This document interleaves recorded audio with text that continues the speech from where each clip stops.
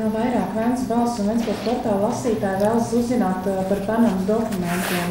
Uh, Portālā uzdots jautājums par to, kas Aivaram Lembergam ir ar Panamas dokumentiem. Vēl kāds Vēncas balss lasītājs uzdod jautājumu, kāpēc, kāpēc Lembergs baidās cilvēkiem dot atbildi. Vēl kāds Vēncas balss lasītājs pauž sašutumu un nesapratni par to, kāpēc visi uzbrūk Lemberga kungam. Jā. Jā. Nu, tātad es ielikšu internetā to notikumu attīstības gaitu par tiem panāmas failiem, jeb, kā moderni saka, jeb, informāciju. Tātad tas sausais atlikums ir tāds. Ja.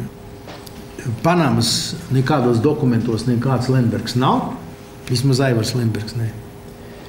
Uh, vienīgais, uh, kur mans uzvārds ir pieminēts, ir vēstule, uh, ko mana advokāte Irīna Kauke 2008. gada janvārī adresējusi uh, tai kompānijai Mossack Fonseca ar lūgumu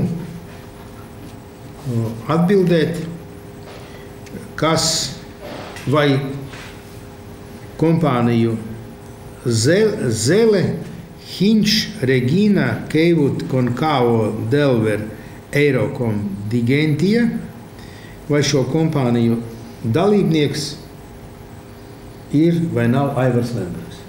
Tāds viens jautājums. Līdz ar to viņiem ir uzstādīts jautājums, līdz ar to viņu failos mans uzvārds parādās. Bet tam nekāda sakara nav ne ar kādiem ne offshore, neko.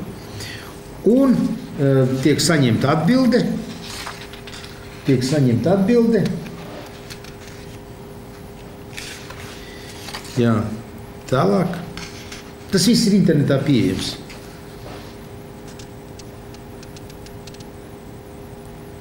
Nu, iedod pirmo atbildi.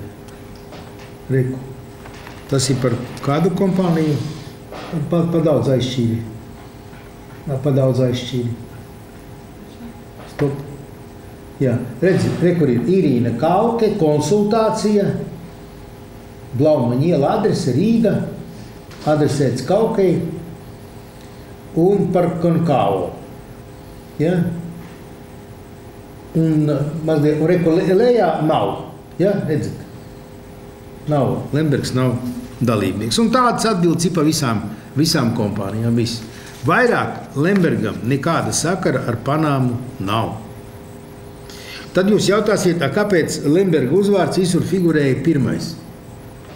Ja, arī man Leta zvanīja, ja, viņiem bija atsūtīta tā, tā saraksta. Es, man jautāja, es nesapratu, par ko iet runa vispār. Arī tā televīzijas žurnāliste, uh, kā no viņai bija uzvārds. Tā, tā, tā. Vērtuli. Bērtuli, jā. jā. Viņa man jautāja no valsts televīzijas, kad, es komentēju uh, Panāmas dokumentus. Es teicu, jūs man parādiet, es viņus neesmu redzējis. Es tajā brīdī nebiju redzējis, tik tiešām. Jā. Bet es no sarunas ar tevi sapratu, ka kaut kur kaut kas ir, bet es nebiju redzējis. Teicu, man parādiet. Viņa teica, man nav. Es saku, nu, ja jums nav, ko jūs man jautājat? Nu, atbildiet, jā. Es teicu, nu, parādiet, es jums komentēšu. Nu, tā mēs tur izrunājāmies. Un, protams, es nevaru komentēt to, ko es neesmu redzējis. Tā pašā uh, dienā, uh, vai pēc pusstundas, burtiski pēc, uh, pēc mazāk desmit minūtēm, es satiku savu advokāti. Un viņa man iedeva to, ko viņai bija atsūtījusi šo sarakstu, tā Rebaltika vēstuli. Uzliec to vēstuli. Šo te vēstuli uztaisīt. Jā, nu labi. Uzliec tā, lai var redzēt. Nē, nē, nē. Jā, tagad labi. Jā. Ar parakstu uh, Jemberga, Rebaltika par Panamas failiem. Un viņa tur skaidri uzstāda, ka, uh, ka viņa redz, kas tās pa vēstulēm ir. Ja, ka tā ir uzziņas lūgums no kompānijas. Redz atbildes, ka Lembergs tur nav. Līdz ar to Rebaltika ir skaidrs, ka tie nav Panamas faili tajā izpratnē, eh, ka man būtu kāds sagars ar kaut kādiem offshore. Pareizi. Jūs domājat, ka viņi to pārraida? Nē. Viņi pārraida, ka Lembergs ir un kā pirmo. Un pēc tam tur Gulbis, un Čirsons un Gerčikovs un kas. Lembergs pirmais. Jā. Un, nu, ko, un ko dara pārējie visi, ieskaitot Letu, visi viņi pārdrukā to. Un pārdrukā biezā slānī. Lembergs ir. Kaut gan Lembergs tajā izpratnē, kā tiek, kā tiek informēts, nav saistīts tur nekādā sakarā ne ar vienu offshore ne ar kaut kādu. Un tāpat tur daži aizrukājās tik tālu, ka saistīts ar nodokļu nemaksāšanu. Ko. Nu, tiem es tomēr lūkšu atsaukt tās patiesībai neat, neatbilstošās ziņas. Tādu nebija pārāk daudz, e, kādi septiņi, astoņi mēdīji, kas nav arī maz. Ja? Bet, nu, bet tā nav, nav patiesība. Tad es painteresējos, e, kas ir Rebaltika. Un, un kā jau tas bija gaidāms, Rebaltika tā ir Sorosa pēc būtības cilvēku kontrolēta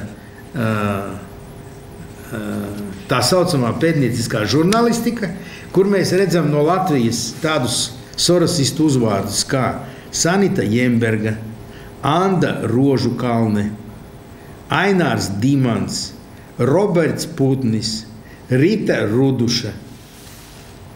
Nu, protams, no šiem personāžiem gaidīt, ka viņi varētu kaut ko objektīvu dot informāciju, neizkropļot dezinformāciju, nav iespējams. Pie tam viņi man, uz manu jautājumu, uh, uzliek to jautājumu. Es, es viņiem jautāju, jūs nedodiet visus failus jums vēl. Viņi jau tā ziņoja, ka viņiem vēl kaut kas ir. Ja?